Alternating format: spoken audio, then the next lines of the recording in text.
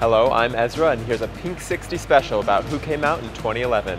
In the field of entertainment, top of our list is Zachary Quinto. We also had actor Sean Maher and actress Amber Heard.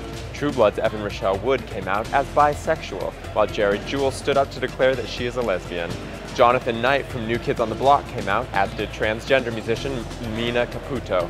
In the field of sport, we saw Swedish soccer star Anton Hysen, U.S. soccer player David Testo, and former Maryland football player Akil Patterson. There were no raised eyebrows when figure skater Johnny Weir came out in his autobiography Welcome to My World. But Surrey cricketer Steven Davies caused a stir when he stepped out of the closet. Former U.S. basketball player Will Sheridan also decided to stand up. But former Belgian pro soccer star Jonathan de Falco went one better and became a gay porn actor. And finally, the world of journalism saw CNN anchor Don Lemon come out in an interview with the New York Times, whilst ESPN Radio's Jared Max outed himself on air after coming out first to his cat. Well, that's our selection of the coming out highlights of 2011. Join us again tomorrow.